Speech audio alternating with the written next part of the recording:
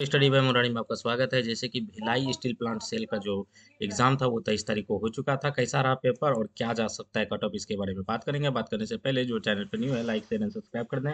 Bell icon को ज़रूर press कर देना ताकि हर तरह का नोटिफिकेशन आपको मोबाइल पे मिलता रहे। वीडियो को पूरा देखिएगा, इसकी बिल्कुल मत करिएगा तो ही समझ में आएगा। पेपर का बात करें मेनली रूप से, मैं इलेक्ट्रिशियन का बात करने वाला हूँ। यहाँ पे इलेक्ट्रिशियन में लगभग में साठ जो ट्रेड पूछा गया था। ऑन एवरेज जो है कि मॉडरेट पेपर था, लगभग में पचास के आसपास जो है कि ट्रेड में लगभग में लड़का अटैम्प करते हुए दिखाई दिया है। उसके अलावा बात करें तो ये जीके जीएस पोर्शन हो गया या फिर करंट अफेयर ये काफ़ी ज़्यादा टफ दिखाई दिया था। इसमें मुश्किल हुआ है लड़के को काफ़ी ज़्यादा। उसके अलावा बात करें तो मैथ और रीजनिंग काफ़ी ईजी रहा है इजिली 18 से 20 नंबर सभी लड़के करते हुए दिखाई दिए हैं। अगर ट्रेड सेक्शन वाइज बात करें तो इलेक्ट्रिशियन में आपको ट्रांसफार्मर से ज़्यादा क्वेश्चन दिखे थे, लगभग में पाँच से आठ क्वेश्चन दिखे थे।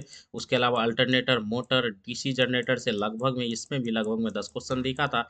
इसके अलावा RPM RPM 120 F by P पे लगभग में आपको पाँच नॉमरिकल दिखा था, जो कि काफ़ी ईजी रहा। ये।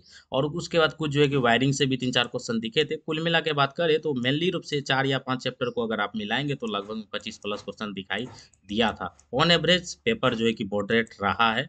ट्रेड का बात करें तो देखिएगा चूँकि इस वन बाय फोर का नेगेटिव है। और यहाँ पे बात करें तो बीस क्वेश्चन जीके और करंट में काफ़ी ज़्यादा दिक्कत हुआ है। तो बेसिकली बात करें तो अस्सी में से अगर आप बात करें तो ये आपको डिसाइड करते हुए दिखाई देगा। चूँकि यहाँ पे अगर आप बात करें तो ये काफ़ी ज़्यादा टफ रहा है, मुश्किल से पाँच से आठ या मैक्सिमम से मैक्सिमम आप मान के चलिए। मैक्सिमम अगर किसी का होगा तो छः से नौ मान के चलिए। इससे ज़्यादा जो है कि ऑन एवरेज पेपर नहीं रहा है जीके और करंट में। तो यहाँ पे देखिएगा, अगर कट ऑफ़ का बात करें ऑन एवरेज अगर आपका इसके बीच में यूआर का आ रहा है तो आप बिल्कुल सेफ़ है। ओबीसी का इसके बीच में आ रहा है तो सेफ़ है।